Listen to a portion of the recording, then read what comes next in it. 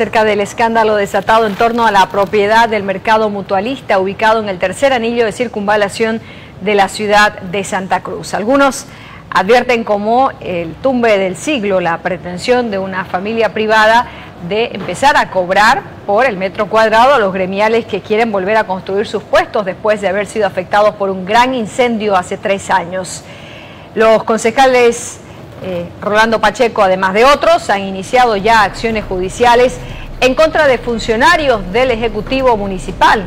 Funcionarios de Johnny Fernández, pues cuestionan la forma en la que se defendió, o más bien no se defendió, al municipio y al patrimonio del Estado. La secretaria Andrea Daza ha sido una de las primeras en desfilar a la Fiscalía y ha dicho hoy que ya lo hizo, que ya declaró y que presentó todos sus descargos. Al mismo tiempo ha pedido al concejal que ha activado esta denuncia en su contra, el concejal del MAS, Rolando Pacheco, informarse mejor respecto a la denuncia. El concejal Pacheco me parece que debería informarse y tomar conocimiento en qué estado está la denuncia que él presentó. Yo realicé mi, declaración el día lunes, he presentado todos los respaldos que corresponden eh, y en este momento se continuará con toda la investigación y el fiscal ya tiene la, información que yo declaré el día lunes. Además he presentado toda la documentación respaldatoria donde yo demuestro toda la predisposición para presentarme ante esta denuncia y hacer eh, acompañamiento y brindar apoyo en toda la investigación que se tenga que realizar. Lo que me llama la atención es que él me acusa a mí de este supuesto incumplimiento de deberes cuando he realizado todo el procedimiento y él sabe si él ha estado informado, ya ha leído todas las peticiones de informe que me hizo el Consejo. En más de 30 pies he contestado de que estos terrenos son municipales y se ha hecho entrega de la información de respaldo a los informes emitidos por la Secretaría de Planificación. Eh, creo que le falta un poco tener conocimiento de cómo funciona eh, todo el, el esquema municipal. ¿Está llevando a un ámbito político este tema, arquitecto? Es más que claro hay algún interés que él tiene de levantar acusaciones en mi contra, que yo las voy a desvirtuar con toda la documentación que estoy presentando a la justicia.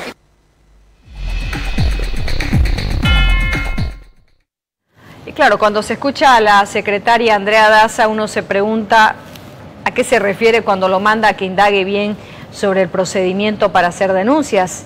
Eh, aparentemente la secretaria sí declaró pero no declaró por la denuncia del concejal Pacheco, quien ha dicho que ya se apersonó a la Fiscalía y que no registra declaración alguna informativa en los registros del Ministerio Público. El concejal Pacheco ha dicho que eh, durante esta jornada sería nuevamente notificada la secretaria en cuestión y ha insistido en que los funcionarios de Johnny Fernández no defendieron los intereses del mercado mutualista.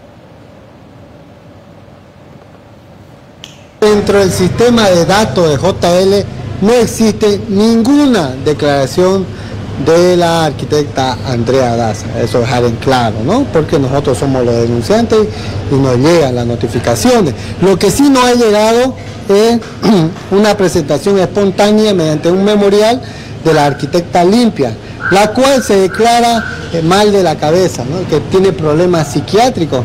Lo que nos llama la atención, si tiene problemas psiquiátricos, ¿por qué ella firma? Entonces, este, al parecer, quieren una vez más salirse del proceso penal por temas de salud, como siempre lo han hecho los funcionarios públicos. Nosotros de recién el día de hoy vamos a ir a notificar a estos tres funcionarios eh, los cuales tienen que responder ante la justicia, ya que eh, han hecho ellos obrado eh, según sus manuales funciones mal. No han defendido los terrenos del mercado mutualista y hoy se encuentran en riesgo de perderlo, ¿no? Nosotros vamos a hacer seguimiento y mano dura en contra de la corrupción, porque esto no lo han hecho gratis, estamos seguros nosotros, estamos pidiendo el desdoblamiento de celulares, estamos pidiendo eh, eh, el movimiento, eh, movimiento de sus cuentas bancarias y también estamos pidiendo que, que se cita a otras personas más.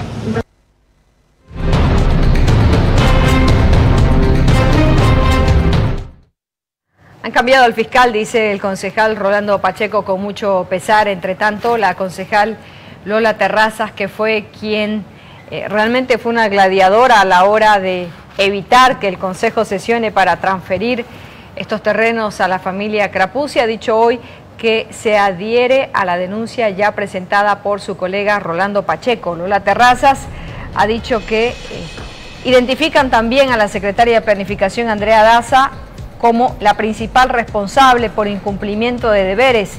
Ha anunciado también que se ampliará la denuncia a otros responsables del Ejecutivo Municipal, como ser el director de bienes municipales y el director de asuntos jurídicos, ya que a estas alturas, dice la concejal, existe mucho riesgo de perder los bienes de dominio municipal.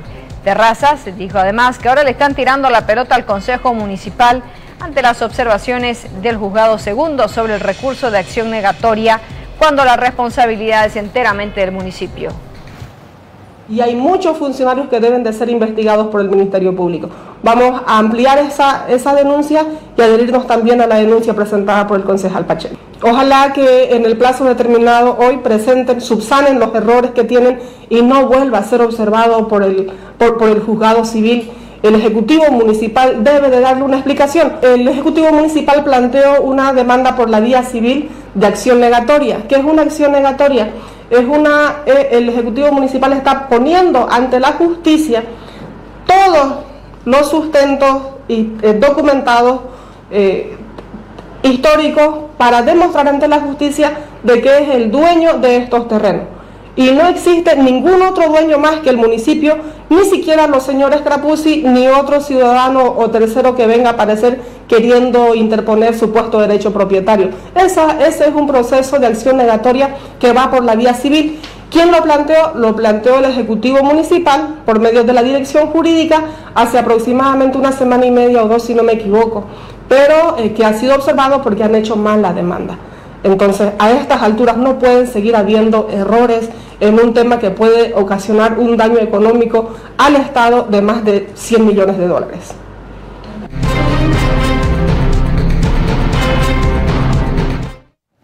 Bueno, pero hay más porque en muy pocos temas los concejales parecen estar en la misma línea y el caso mutualista sin duda es uno de ellos. El concejal también opositor de los demócratas, Manuel Saavedra, ha cuestionado hoy que 50 abogados que paga mensualmente la alcaldía no hubiesen sido suficientes para hacer una buena redacción de una denuncia. Y es que observa de que no es posible de que se hubiese mandado a la alcaldía corregir una acción que se interpuso en contra de la familia Crapuzzi solo por una equivocación de los abogados, que son como 50, decía el concejal, a tiempo de reflexionar y de decir que no entiende si esta es una equivocación involuntaria o totalmente intencional. Este recurso tiene errores y ha sido observado por quienes revisaron esta documentación. El plazo vencía el día de hoy para subsanar esas observaciones. Caso no las subsanen, se pierde el recurso, se desestima, entonces quedaría en nada. A nosotros nos llama la atención. ¿Por qué no hacen las cosas bien? En la Dirección de Asuntos Jurídicos hay más de 50 abogados que les pagamos nosotros su sueldo más de 5 millones de bolivianos al año y no pueden hacer una demanda, no pueden hacer un recurso de manera adecuada. Entonces, hay dos opciones, o se equivocan de verdad porque no les no dan para más, o se están equivocando a propósito. Porque volvemos a recordar, en la gestión pública una manera de cometer corrupción es perder juicios, perder para ganar. Y esperemos que no esté ocurriendo eso. Queremos saber que nos expliquen por qué se equivocan 50 personas para hacer una acción, para meter un recurso, que no lo hagan bien. Y sobre todo, que lo corrijan y envíen esas correcciones a las observaciones, a las dos observaciones el día de hoy, porque si no, eso sería rechazado y eso de verdad que sería grave. ¿Qué tipo de errores son? Son errores en la demanda, son errores en, por un lado en que tenían que poner el sustento legal y por otro eh, eh, respaldar y por otro el tema de la demanda en positivo.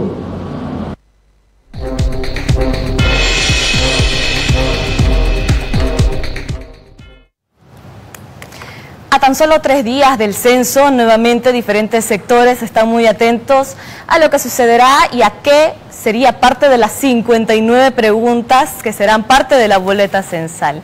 La Iglesia ha señalado de que como no se los está tomando en cuenta y ninguna de las cuestionantes en esta gran encuesta, ellos harán su propio sondeo. La Iglesia, que ha sido cuestionada también por, en primera instancia, pedir que no, se, no sean censados sus creyentes